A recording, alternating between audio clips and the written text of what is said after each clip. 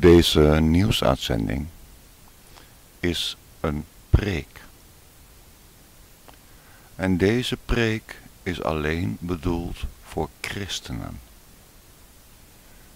Ben jij atheïstisch of katholicistisch of nihilistisch? Je mag meeluisteren. Mijn woord richt ik op de christenen. De mensen van het boek. De mensen die begrijpen dat de Bijbel het woord van God is. Mensen die respect hebben voor het oudste boek. Mensen die respect hebben voor onze voorvaderen, voor de wet en de profeten.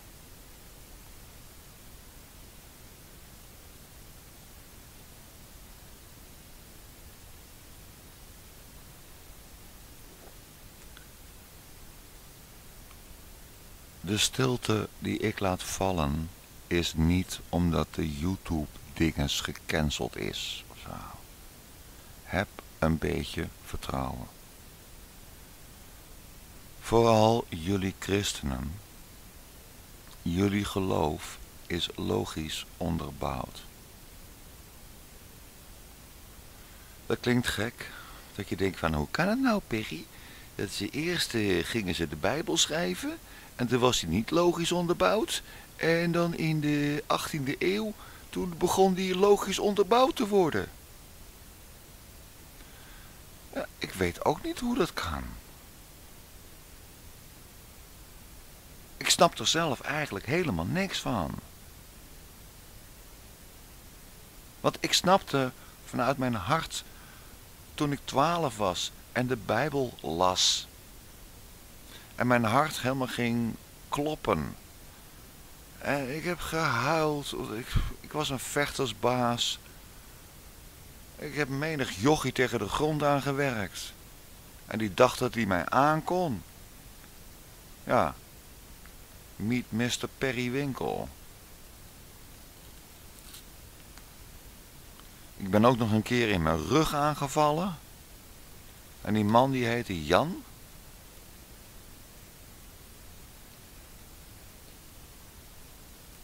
En die kon ik dan niet pakken, want hij had mij in mijn rug.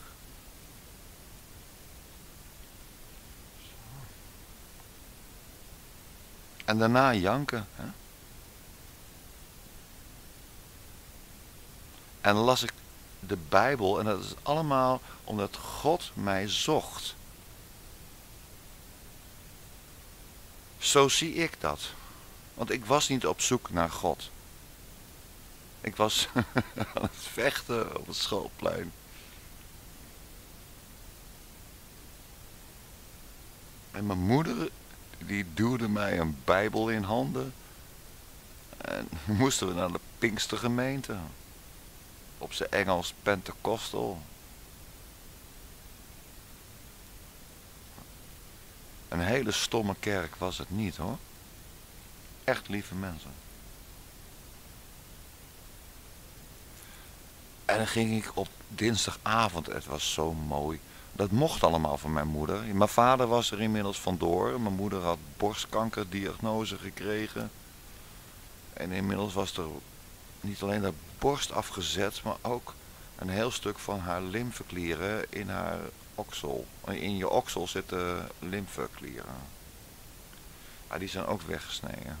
Het is een behoorlijke amputatie wat ze heeft ondergaan.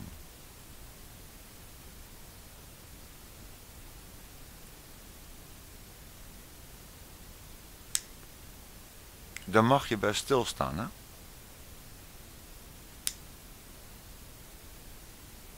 Wel mijn moeder.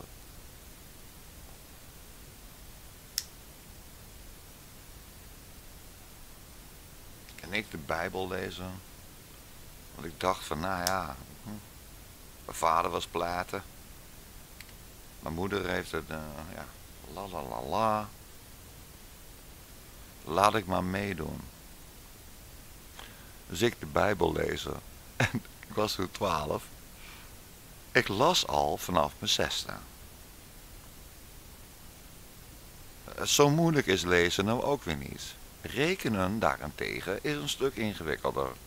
Hoeveel is 22 gedeeld door 7? Op 6 decimalen. Weet je het uit je hoofd?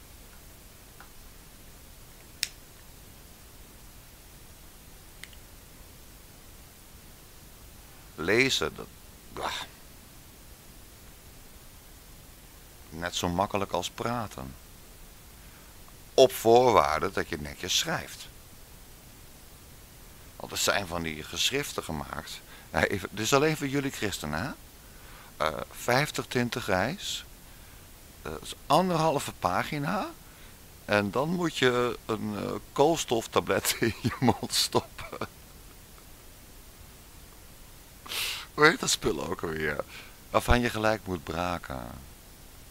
Dat is heel erg slecht geschreven. Ik, ik ga jullie, jullie christenen vooral niet uitnodigen om ook maar één pagina van 50 tinten grijs te lezen, waarvan er drie delen geschreven zijn. Wat voor een vrijmetselaar viesbeuk was dat. Maar goed, dat is niet te lezen. Dat kan je niet lezen. Dat is allemaal fout.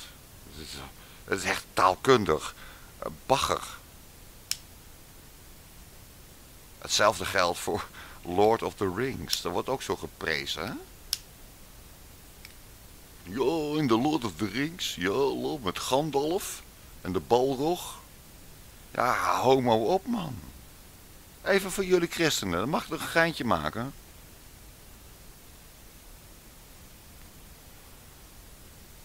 Er is zo'n groot verschil tussen de letters die samengevoegd zijn tot woorden, die samengevoegd zijn tot zinnen, met een enkel scheidingsteken ertussen.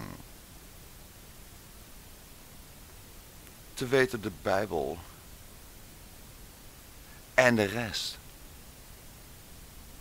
Het verschil is angstaanjagend.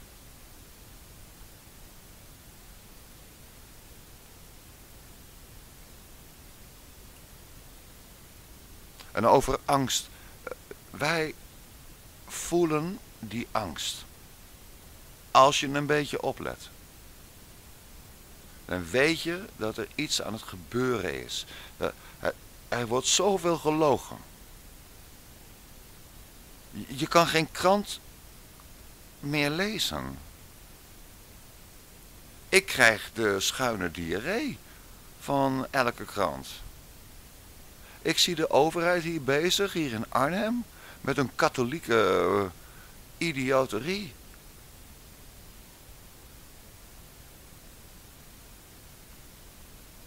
En wij christenen, wij zijn ons daarvan bewust. Ja, dat is even lekker leuk. Dit is voor jullie, hè, lievelingen. De enige waarin ik hoop heb, En weet ook dat er mensen onder ons zijn en die zijn opgevoed met de Koran. Er zijn mensen onder ons die zijn opgevoed in het katholicisme. Dat zijn ook onze broeders en zusters.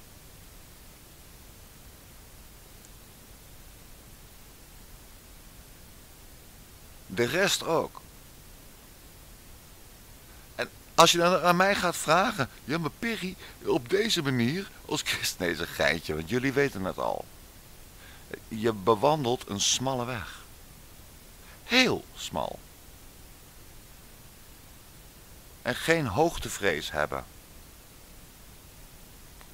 Want jullie, christenen, jullie zachtmoedigen, jullie anarchisten, jullie egalitaristen. Jullie zullen deze aarde beërven. Dat is beloofd.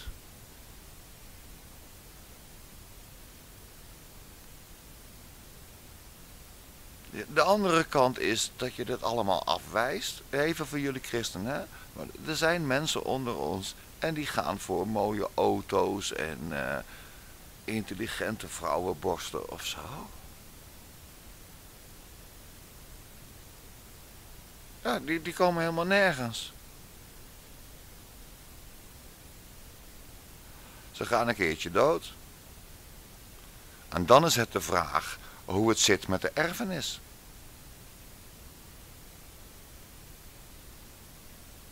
Er is dat mooie nummer van de, is dat de Temptations? Het nummer in B mineur. Daddy was a rolling stone, my son. Ik ga hem even opzoeken. Maak het uit.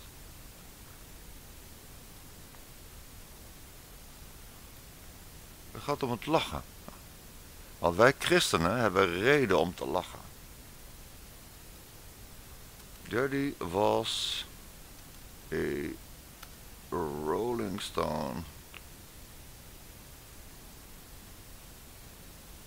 Yep, en dat was van de... Oh nee, papa was een Rolling Stone. The Temptations, ja.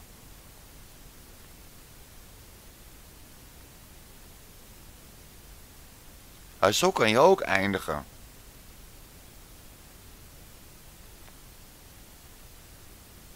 Dat, dat, dat, dat, dat wat jij achterlaat op deze aarde, en niet voor jullie christenen dan, hè? Ik wil jullie overtuigen in jullie geloof. Want jullie zitten aan het rechte eind. Het christendom is het enige logisch onderbouwde. Wees trots op het feit dat je christen, dat je christen bent. Goed, waar dit nummer over gaat, is dat je ook afscheid kan nemen van deze wereld met een lening.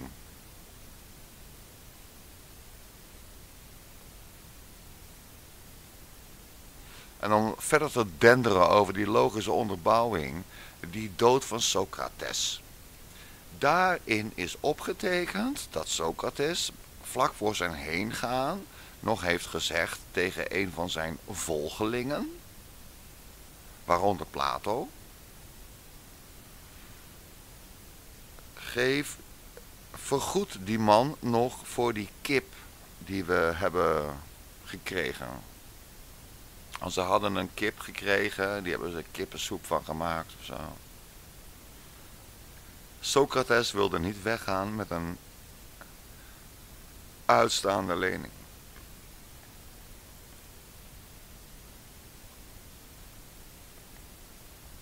Ik ben verder geen fan van Socrates. Ik ben een fan van Christus Jezus. Socrates was meer iemand van uh, bla bla bla bla bla. Stom gehouden hoe.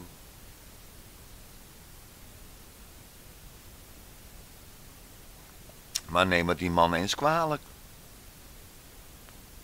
Eh, hij in 399 voor Christus, 400 eh, jaar voor Christus, liep hij te wauwelen nou, er zijn ook anderen geweest. Met Boeddha was er ook zo een. Dat is allemaal wel leuk. Dat is allemaal wel geinig. Maar niet wat de connectie is, wat we noemen het Judeo, Judeo-Christianity, het Joods christendom. Want wij beginnen met het boek, met het boek Genesis. En het boek Job. En al die ellende die er kwam met uh, Samuel, Daniel, Hosea, ook een leuke tijd. Om Noah, eh, Genesis 6 om me niet te vergeten. Jeetje, wat een boek.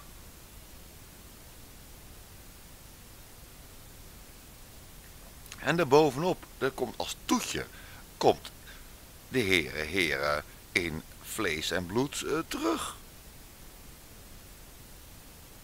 Ja. Dus God houdt van ons.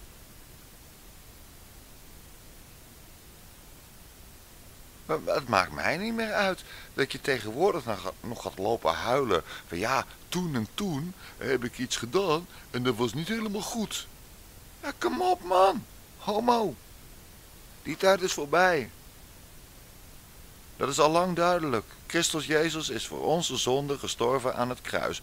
Punt. En dat maakt ons vrij.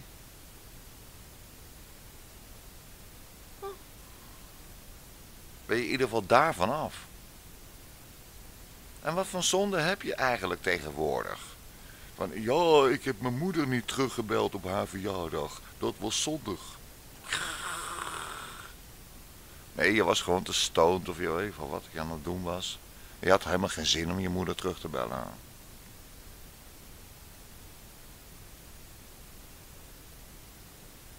Doe niet zo moeilijk. Al dat gezeur met die moeders ook, trouwens. Heeft Christus niet ergens gezegd van... Eh, ik ben hier gekomen om de familiebanden te vernietigen... of woorden van gelijke strekking? Nou, gedraag je daar dan na.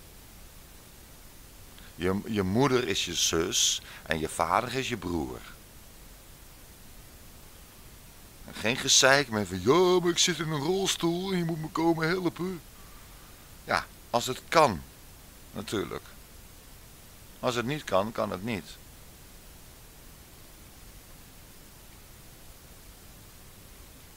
Voel je niet schuldig, die tijd is voorbij. Maar dat, jullie christenen snappen dat. Hè? We zijn aan een nieuwe tijd toe. En die heet de trooster. Dat is de Heilige Geest.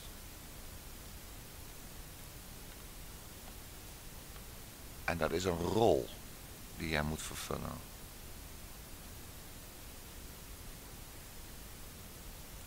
De meeste om ons heen, dat zijn oftewel slachtoffers, dan wel mensen met oezies die... Uh,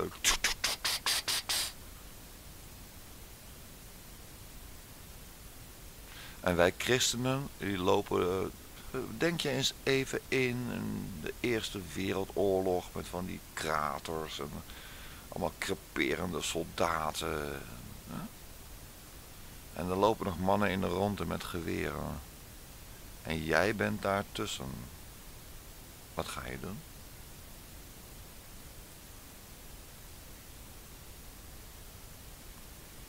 Eén mogelijkheid is dat je zegt, ik ga die mannen met geweren voor de kop schieten. Eén mogelijkheid. Jij hebt geen leger. Dus dat gaat hem niet worden.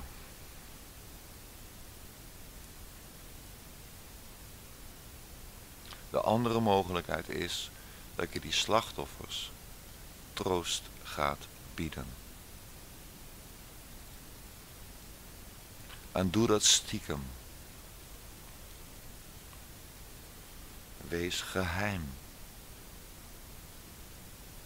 Laat niemand weten wat jij doet. Volg het kleine vogeltje. Ook zo'n leuke, heb ik ooit verzonnen. Luister naar het vogeltje. Want zo werkt de Heilige Geest. Het zijn hele kleine dingen waar je op kan reageren. Die kan je ook links laten liggen. Als je die kleine dingen maar opgemerkt hebt.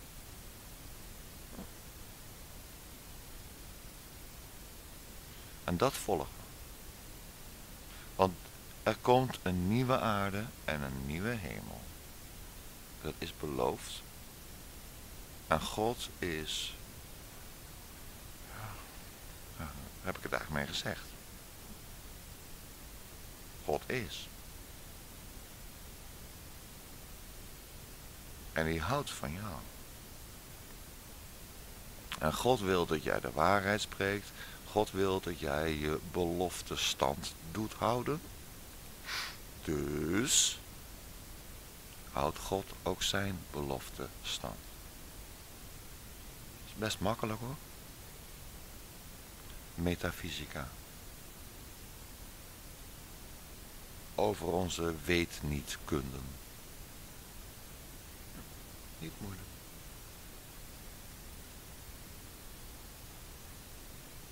En wat moeten wij christenen doen? Moeten wij naar de kerk? Nee. Niet per se. Waarom? Eigenlijk. Behalve als de kerk echt iets is waar je graag naartoe wil. Er komen dakloze mensen en jij mag linzensoep koken. Ja, dan ga je naar de kerk.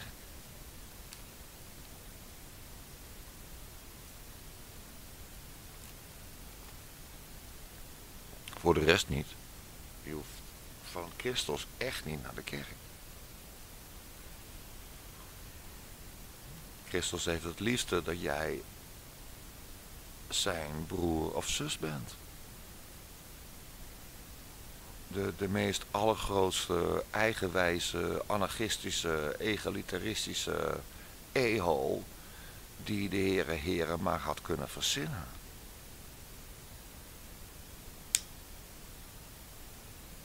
Rock hem, shoot. Er moet iets gebeuren. En wij kunnen niet gaan lopen wachten op die boeddhisten.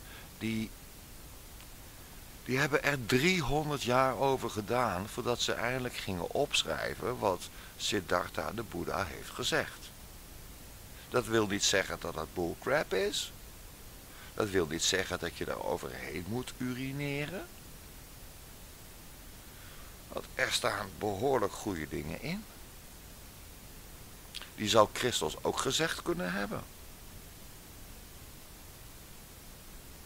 Christus gaat nog een stapje verder.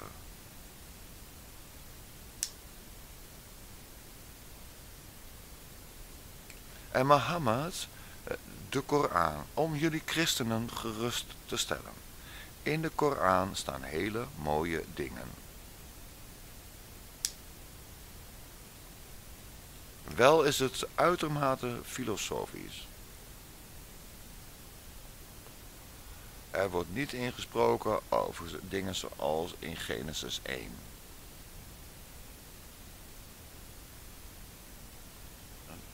Er schijnt in te staan, gij zult elke dag uw vrouw slaan. Ja, probeer dat maar eens vrolijk te interpreteren.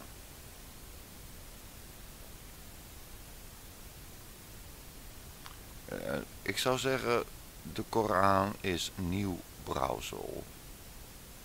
Uh, het is niet zo oud als de Bijbel. De Bijbel is cognac. En de Koran, dat is Beaujolais primeur.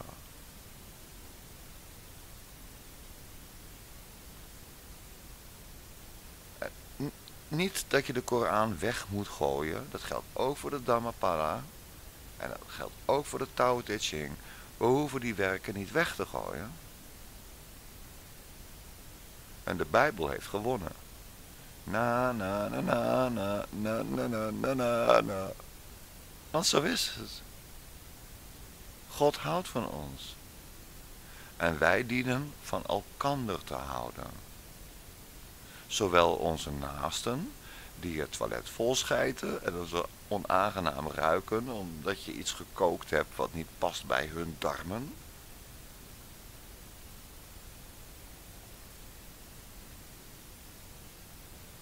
En van onze vijanden.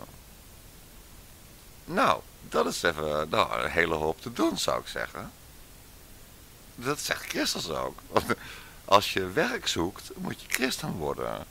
Mag je gelijk aan de slag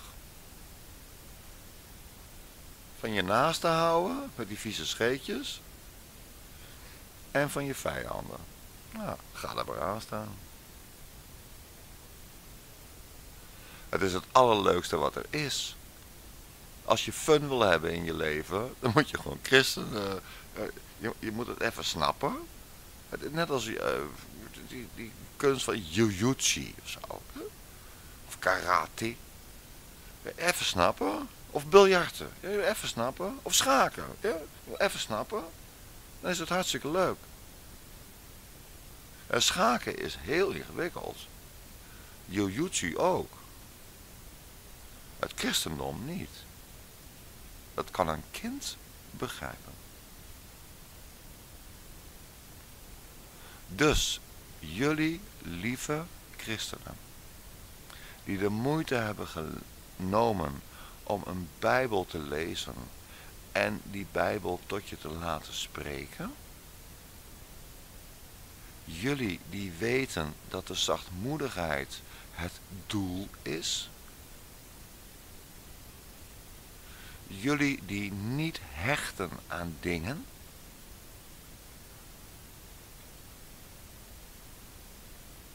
Jullie die onderworpen zijn.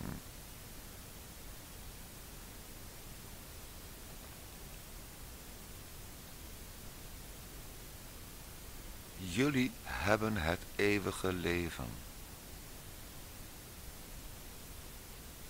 Het is precies wat de Heere, Heere, van ons wil.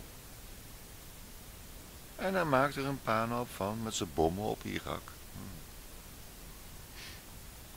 En wat doen wij daaraan?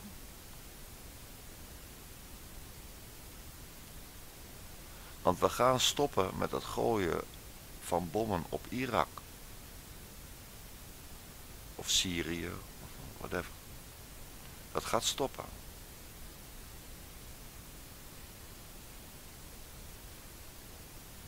Ik ben benieuwd hoe dat afloopt.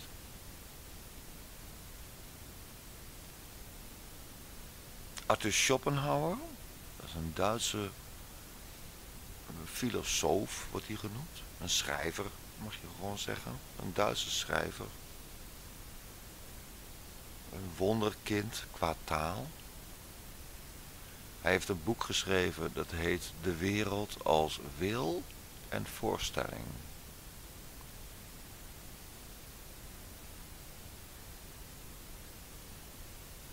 Hij heeft gezegd, het allerergste komt nog.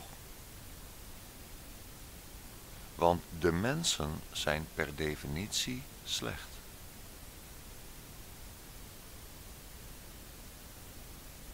Laat dat nou ook in de Bijbel staan.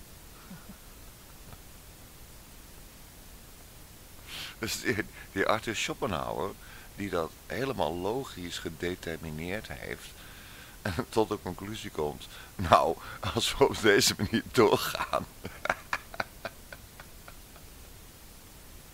en die zegt gewoon hetzelfde als wat in de Bijbel staat. Oh. Dus wij christenen, wij zijn van tevoren gewaarschuwd. Wij weten ervan. En wij moeten in als zalmen tegen de stroom. En dat laatste komt uit de Koran. Erg belangrijk dat wij een, als christenen connectie maken met de Mohammedanen. Uberikuns. De laatste was uh, Spaans, denk ik. Of Duits. Want wij hebben dat vermogen, lieve christenen. Wij houden ons aan Matthäus 7, vers 1. Oordeelt niet, opdat gij niet geoordeeld worden.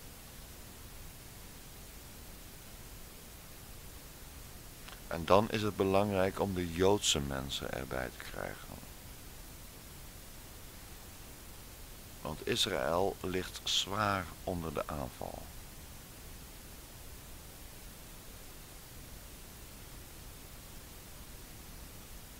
Israël, even voor jullie christenen, ik, zoals Eric John Phelps. Jullie christenen gaan ook naar Eric John Phelps luisteren en naar Walter Fight. Een Fight is met een V van Victor. En voor de rest de Fight. E-I-T-H. Walter. Zij spreken een donkere boodschap.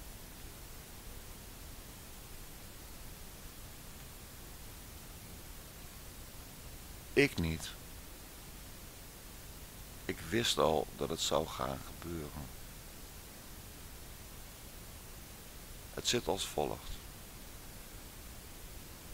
Je hebt de mens die tevreden is met zijn dagelijkse bestaan. En die, ja, die woont waar die woont. Je hebt de mens die andere mens. En die jaagt de zon achterna. Die heeft geen zin om naar bed te gaan. De drukke mens.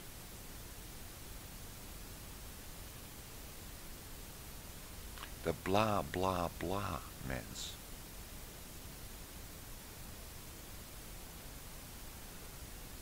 De mens die op zijn plek wil blijven, die noemen wij de Orientalen. Oriënt betekent oosters.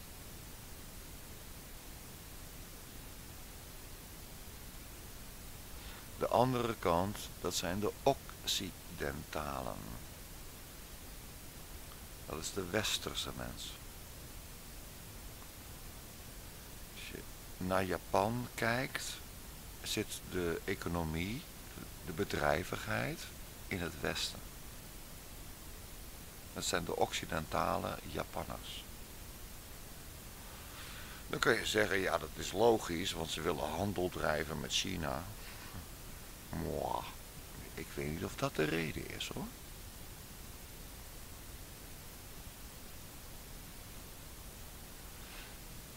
In Amerika heb je aan de linker onderkant uh, Californië, uh, Silicon Valley. En Microsoft, dat zit toch ergens daarboven, maar ook aan de linkerkant. Nou, hier in Europa heb je Nederland, dat is heel bedrijvig.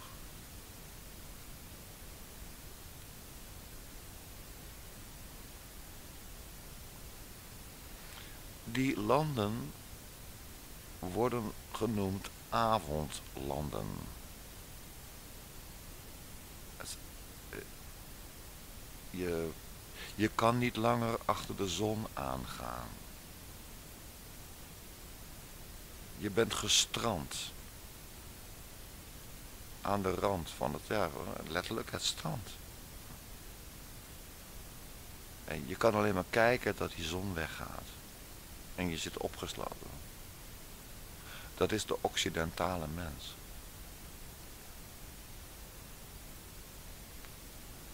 Wat zijn mooie avondlanden?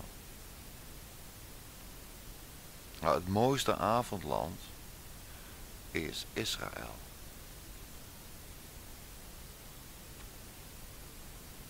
Tel het maar na op je vingers. De citroenen, eh, sinaasappels, eh, whatever. Het groeit daar tegen de klippen op.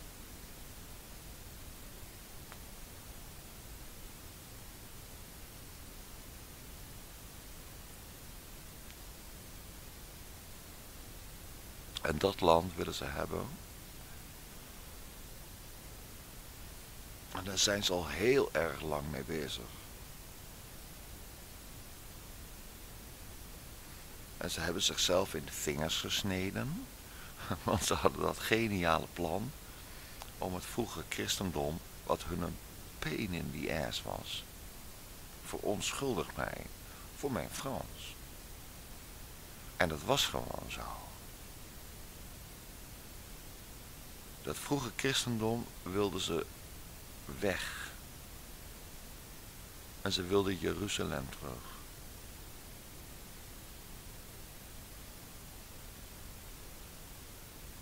Toen hebben ze een geloof gesticht.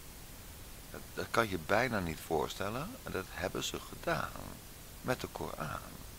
Dat was neoplatonisme. Iemand zoals ik, toen ik helemaal overvoed was eh, met al die Jezuïtische kennis, kon ik dat begrijpen wat daar stond. Er staat niet eens zoiets geks. Eigenlijk is het heel logisch wat er staat. Alleen voor de eerste beste boerensukkel. Ja, voordat je neoplatonisme kan begrijpen, moet je toch eerst Plato begrijpen. Of niet? En daarvoor moet je eerst Socrates begrijpen.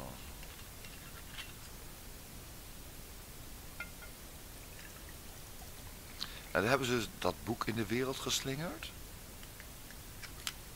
Dat geloof gesticht. En die jokers op Jeruzalem afgejakkerd van eh, neem Jeruzalem in. Nou, dat hebben ze netjes gedaan. En toen zei meneer de antichrist, de antichrist van die dagen want de antichrist die is er al heel erg lang. Ik hoop dat jullie het allemaal weten, anders ga ik daar een volgende uitzending aan wijden. De antichrist, dat is ook wel logisch hè. Je hebt, als je een christ hebt, heb je ook de, een gezalfde hebt, heb je ook een uh, ongezalfde. Kijk, die mop van die, van die man, die werd de deur uitgezet door een vrouw waarvan die net uh, kippensoep had gehad. En die man had gezegd, zullen we niet neuken? Dat was het einde van de feestavond.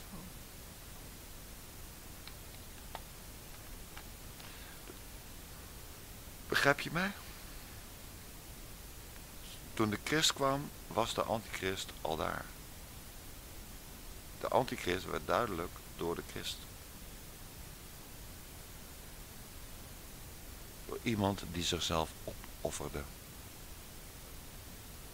Nou, ze hebben dus die Arabieren zo gek gekregen om Jeruzalem in te nemen.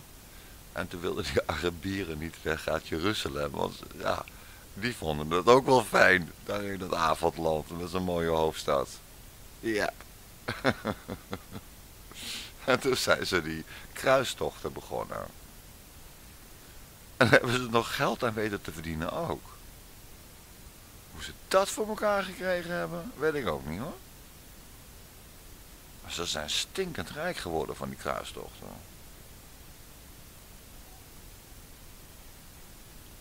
Toen hebben ze zich teruggetrokken in Zwitserland. Daar zitten ze nog steeds. Wat is het best bewapende land van Europa? Ja, dat is Zwitserland.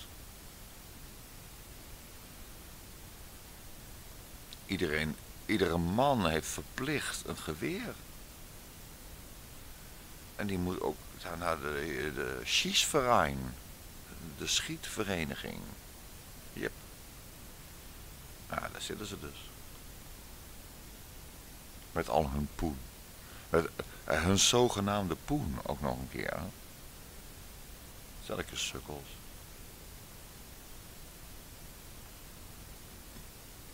Ja, wij zijn niet zo, hè? wij christenen. Uh, maak het ons wat uit. En recentelijk hebben ze dan zijn ze echt Israël aan het binnentrekken. Dat gaat ze nog lukken ook. En dan denk ik, ik, ik ben zo'n beetje zielige, arme, huilende man, hè. Dan denk ik, ach, arm, al die joden. Die daar wonen. Of kom ik nou racistisch over, omdat ik medelijden heb met joden? Ik weet dat ik hier in Arnhem te boek sta als neonazi en antisemitistisch of zo. Dat zijn meningen van mensen. Maar ik denk dat die joden echt de, de fuck zijn hoor.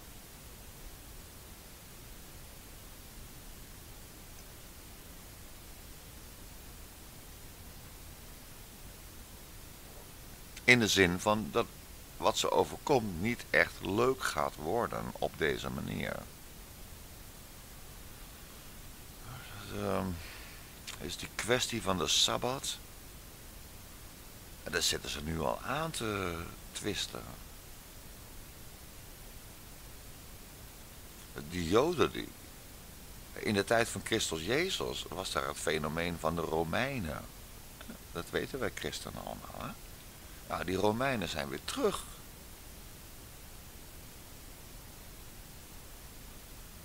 Echt naar.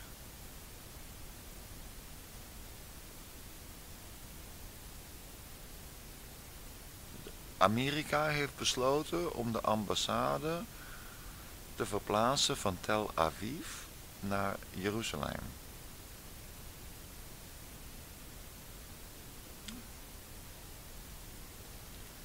En wie zijn de Amerikanen? Dat zijn de katholieken. Dat is de antichrist. Die daar heerst. De paus is heel erg trots op het feit dat hij Amerika onder controle heeft. De paus heeft, of het katholicisme, de antichrist, de paus is maar een mannetje. Een beetje polonium erin en hij is dood. Gedenk Johannes Paulus Eerste. Die, die sukkel die dacht, nou, ik, ik ben nou paus geworden en eh, dan ga ik even de boel opruimen. Hey, dat gaan we even lekker niet doen, stomme John F. Kennedy. Johannes Paulus I was weg in 33 dagen.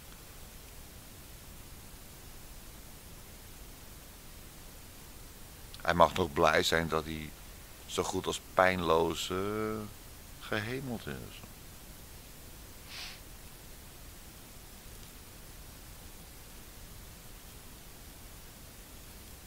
Bij de akkoorden van Oslo 1993. Dus hoeveel jaar geleden? 7 plus 17. Dus 24 jaar geleden. Er werd er een vrede gesloten tussen de Palestijnen en de Israëliërs. Tussen Yasser Arafat en... Wie was dat?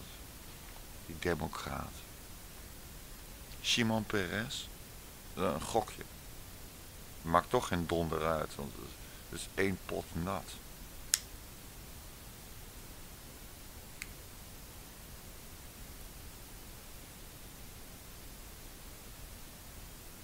Bij dat vredesakkoord is 70% van de belangrijke gebouwen, grondgebied, vierkante meters grond met stenen erop, is overgedragen aan het Vaticaan. Volg jij het nog? Lieve christen. Wie is hier aan het werk? De paus de vrede stichten. En zegt ja, de Palestijnen en de Israëliërs. Handje, handje, schutje, schutje. En ik krijg 70% van Jeruzalem.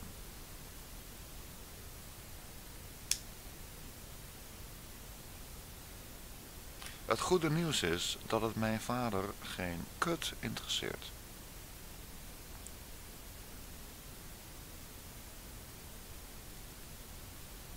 Of had ik uh, geen kloot moeten zeggen? Of geen kleren? Het interesseert mijn vader niet.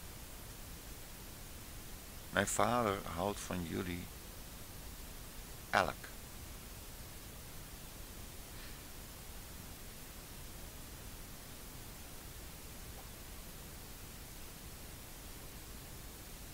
En deze mensen, aangestuurd door Shatan, die heeft nou een nieuwe, een nieuwe, nee, ik zeg het fout, hij heeft een nieuw credo verzonnen. De nieuwe wereldorde.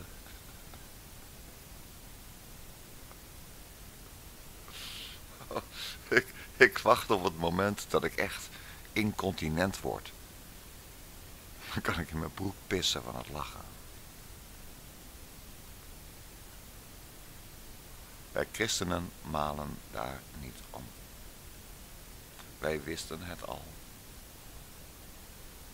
Wij zijn mensen van het boek. We lezen het van tijd tot tijd. Wij brengen door met vrienden en vriendinnen, dus broers en zusters, die het ook doen. En geven free energy dat is het goede woord. Free energy.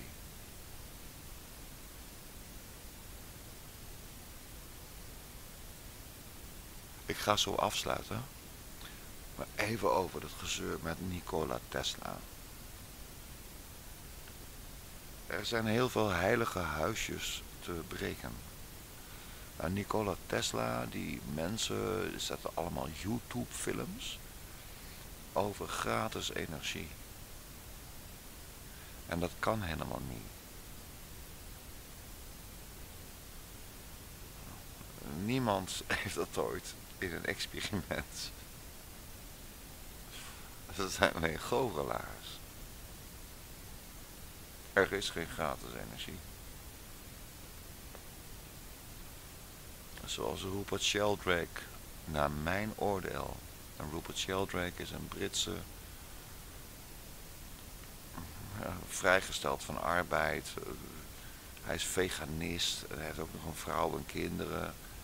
En hij zingt liedjes voordat ze gaan eten of in een soort gebed of zo.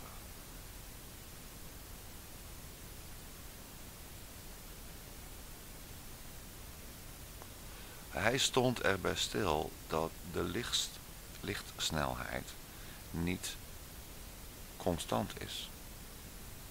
Niet volgens de empirie.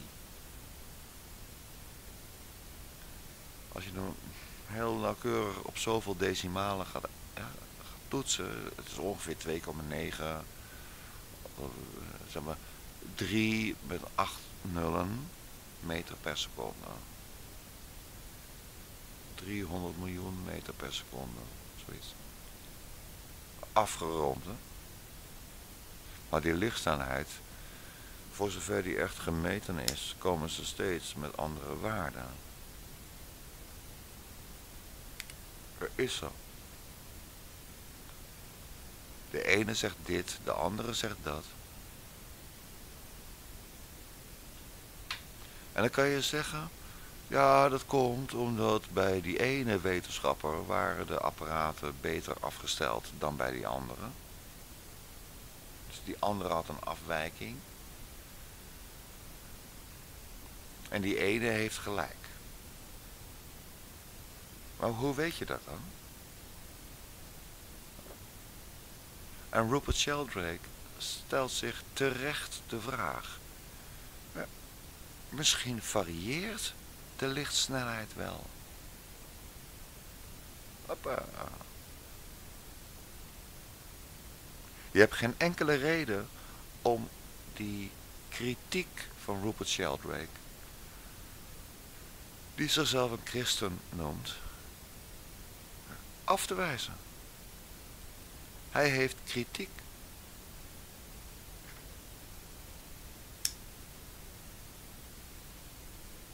En als de lichtsnelheid niet constant is, waarom zou de hoeveelheid massa dan ook niet, niet constant zijn?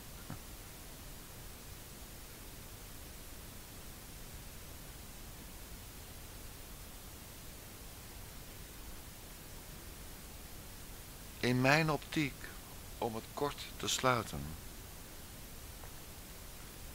In Genesis 1, vers 1 staat: In den beginnen schiep God hemel en aarde.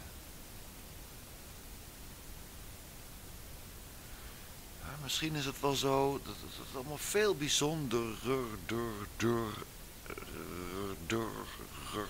dur is dan jij of ik ons kunnen voorstellen. En zoals Bob Marley zei, uh, many of us are going to die. Ja, nou en? Ga een beetje de waardige pijp uit. Klojo. ik bedoel het natuurlijk heel erg lief. Want ik hou van jullie.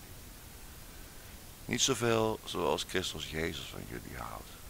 Want zoveel van jou houden, misschien op een dag. Ik streef ernaar. En op zijn hamburgers zag hij, tjus, een dag lief was.